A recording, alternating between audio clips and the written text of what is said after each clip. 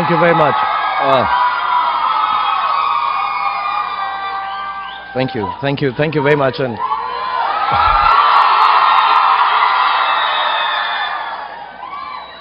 thank you, thank you very much. It's really nice to be here, and uh, I love you too. Yeah. Good evening. It's it's really nice to be here. Finally. Uh, yeah, it was a long flight. Thank you, Nita, for getting me here. Thank you, Isha, for having me over here.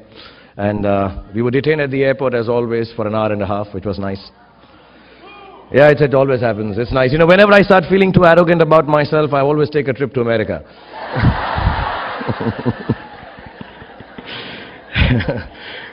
yeah, the, Ameri- the immigration guys kick the star out of stardom. And, uh, but I, I, I have my small victories. You know, they always ask me uh, how tall I am, and I always lie and get away. Five feet ten inches. Next time I'm going to be more adventurous. What color are you? I'm going to say white. Yeah, well, okay. So I'm supposed to be serious here because this was students and kids. So first of all, let me just thank uh, the faculty and students of the Yale University, fellows of Timothy Dwight College and the Chubb Fellowship and Master Jeffrey Brenzel for being so kind. Thank you. Uh, Yale Office of International Affairs and uh, the Yale South Asian Society. And of course, Isha for dealing uh, and following up with the most disorganized and incommunicative person in the world, which is me, to fix today's meeting with you all. I'm really, really happy, very humble, very honored, and thank you for having me over here. Okay, I have memories of, I've, I've, I've been here before. Five years ago, I was here in Yale. I was doing the song. Some of the shots, uh, you know, the ones uh, at the graveyard, uh, they were shot here. And, uh, no, I'm being honest here. Uh, and it was very cold. It was, I think, 5th or 6th of December. It was snowing here. And I remember I was doing a song from Kabhi Alvida Na Kehna in the middle, yeah. and I was, I was trying to kiss Rani Mukherjee uh, while mouthing the words. We do that in Bollywood for all the guys who don't know how it is. Yeah, we sing songs and we try to kiss girls at the same time. And, uh, and I, I, I'm, I'm being honest, my mouth froze in the middle of Kabhi Alvida Na. Yeah, I, I had a lockjaw, yeah. So I'm, I'm hoping my second outing to Yale is a little better because otherwise it just won't sound right if I was to get stuck on. I don't know what you guys call yourselves, Yale tides, Yalers? It, it, yeah, yeah, that, but I, I, I hope I don't get stuck at yeah and go beyond that, eh? So I was told not to dwell too much on my movies when I spoke to you. I am to give you an inspirational talk, tell you stuff you can think about when you leave this room. Now that worries me, it gives me performance anxiety. About 1500 of you here, hoping to hear words of wisdom from this sexy, desirable man. who couldn't kiss a girl last time he was in Yale because it was too cold. But I am, I want, I want to tell you right in the beginning, I'm not that guy. I'm, I'm telling I'm, I mean, I'm sexy and desirable, but I'm, but I'm not about to leave you any more inspired than you were when you walked in here. And uh, I did this lame joke on Google. Yes, I, I go to Google and search everything there. Even my next script I'm searching on Google now. Um, and the joke was like this. A dying man gasping for breath desperately gestured to the priest by his side for a piece of paper. With great effort, he then wrote a few words on it, handed to the priest and passed away. The priest kept the paper in his pocket and forgot all about it until the final service. Here he suddenly recalled the dead man's last scribble. Unfolding the paper, he told the funeral congregation that he was about to read great words of inspiration from the dying man. He opened the paper. The piece of paper had these words on it. You are standing on my oxygen tube, you fool. so I'm, I'm, I'm, I'm going to be kind of like that priest. Don't expect words of wisdom from me. I'm just going to tell you my life's journey in very simple words and which may not leave you inspired but will help you survive this life. And if you can do that, kids, if you can survive, happiness, creativity and success will follow on its own. Only I hope my words will give you enough insight when you hear the story that I have to tell you that you can tell the world, world, move over, you're standing on my oxygen tube. I need to breathe, yeah. So journeys can be defined by age and time or even by destinations as most often they are. But I feel it's hard for me to tell you the story of my life in those terms because the concept of time has always eluded me. The day my father died seemed longer than my entire childhood. The day I felt my first success seemed fleetingly a long, not long enough perhaps. I wondered where it went. Even the cycle of time confounds me. I work the dark. I work the dark until sunrise on most days and fall asleep as the world awakens to light. My friends call me an owl. I like to think of myself as Bat, Batman, the Prince of Darkness. I, I, I, some of you would know I have a superhero fetish, yeah, so I keep bringing this back. Age, age is not my forte either. I still cannot fix my own. Am I 45 or 15? If I could, would I be romancing girls one third my age who normally would call me uncle? I had so much fun collecting the action figures of my last film called Ra.One that, yeah, that none of the critical reviews tanking my film affected me at all. And as for my destination, I don't think I ever knew one. I walk, I run in the direction of my dreams. Things change along the way, people change, I change, the world changes, and even my dreams change. I don't have a place to arrive. I just keep doing what I know how to do the best that I can do it. I'll probably end up deluded, a geriatric, in a wheelchair, wearing a cape and tights, imagining my... So I'll tell a story, but I'll tell it in my own way, in the language of my perceptions, in the things I think matter beyond fame, success, and the dying of my gray hair. I have understood and nothing else matters. If you take anything out of it, good. Otherwise, I've been told by the master, I can put on music and dance for you on Chammak Challo.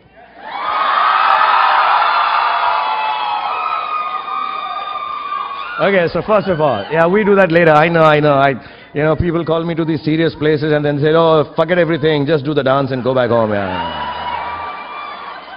But I insist you listen to me, okay?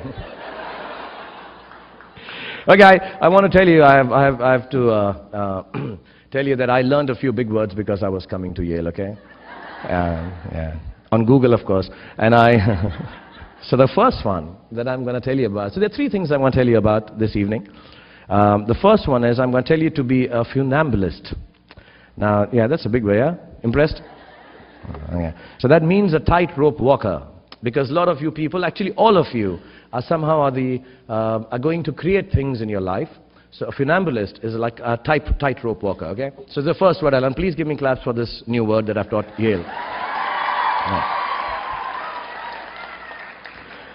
Okay, however I look at it in its eventual analysis, my life has centered around my creativity. I have assimilated the world through creative expression, and in return, the world has experienced me, hopefully. I've grown to understand that on one hand, the world will always uphold creativity as the most honest feeling possible. On the other hand, the potence of fame, the glitz, the glamour, the wealth that arise from this very recognition of creativity will always be questioned. Why do we do that? Because sometimes it allows us to feel better than the Creator, and sometimes it fills a void within us that comes about by being in awe of his or her creation. Either way, it enables us to quantify his or her engagement, engagement with the world around him. I'm an actor. My life is a testament to this duality.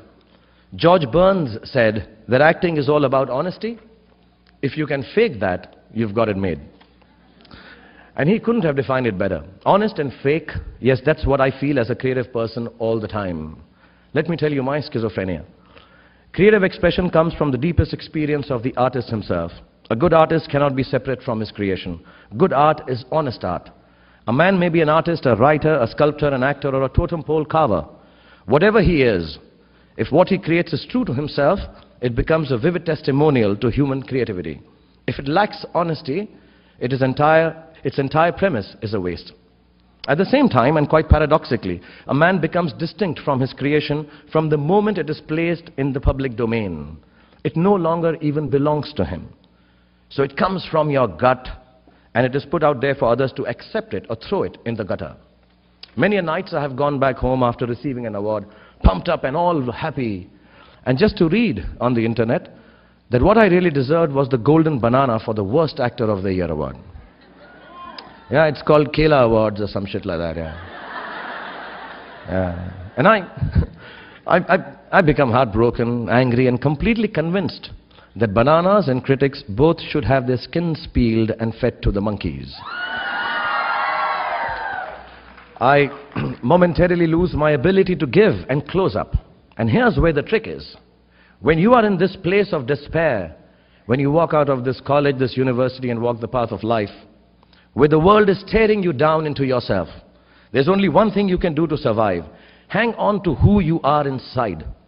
The world will be unkind to you. It will not be able to see you. You must learn at such times to be able to see yourself. Life as a created person is like walking on a tightrope. I have to keep balancing. I have to keep the balance. I begin to lose myself in my own melodrama. It is frustrating that I find myself living up to other people's interpretation of what I ought to be. And when faced with dissent or unappreciation, I start losing my love affair with my own audience. It becomes a tight balance act to keep doing what I do best and not be bothered by the reactions of the people I do it for in the first place.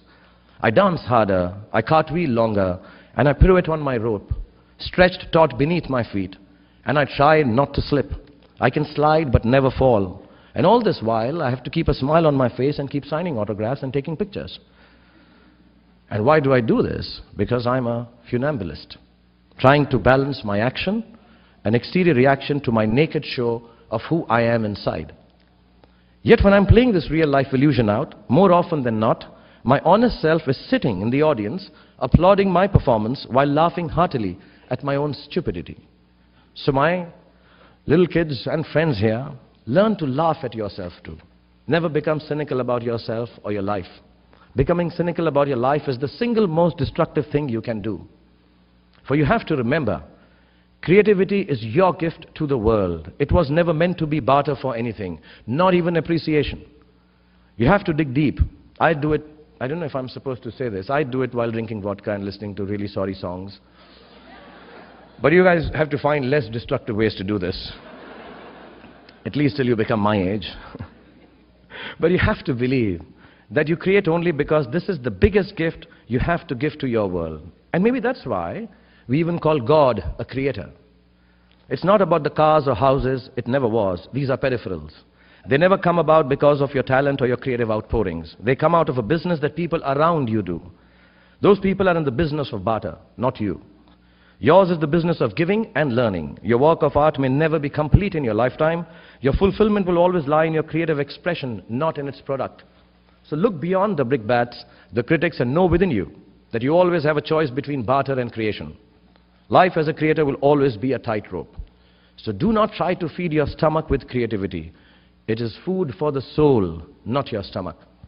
Do not be afraid to defy conventions. Do not be afraid to destroy systems that kill art and your souls. Do not be afraid to be hungry.